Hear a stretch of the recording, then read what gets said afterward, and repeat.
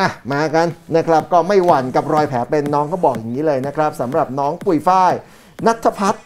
ก่อนหน้านี้นะฮะเจ้าตัวถ้าจำกันได้เราอ่านข่าวนี้คือมีอาการหมอนรองกระดูกทับเส้นประสาทสะสมมานานกว่า 2 ปีนะครับ จึงได้เข้ารับการผ่าตัดจนมีรอยแผลเป็นเนี่ยบริเวณที่คอด้านหน้า ล่าสุดเจ้าตัวได้ออกมาโพสต์ภาพอวดความแซ่บในลุค makeup และ no makeup ในวันว่างนะครับ พร้อมกับตอบคำถามแฟนๆที่เข้ามา นะฮะเกี่ยวกับเรื่องรอยแผลเป็นและความกังวลใจ หรือทำให้ขาดความมั่นใจไหม และก็วิธีการดูแลรักษารอยแผลเป็นครับ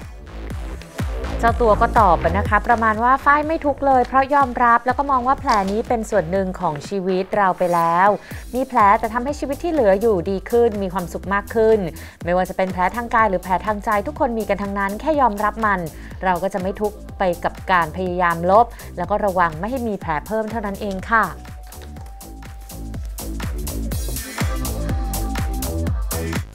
ขอบคุณทุกคนที่ติดตาม Inside News Tonight ในช่อง True Insight HD ค่ะ อย่าลืมกดกระดิ่งและกด Subscribe กันด้วยนะคะ เรายังมีคลิปวิดีโออีกมากมายค่ะ และถ้าเกิดว่าคุณผู้ชมนะคะ ไม่อยากพลาดการรับชมแบบสดๆ สามารถติดตามพวกเราได้ที่ Facebook Fanpage True Insight HD นะคะ และช่องทางอื่นๆ อีกมากมาย ติดตามได้ที่ลิงก์ใต้คลิปนี้เลยค่ะ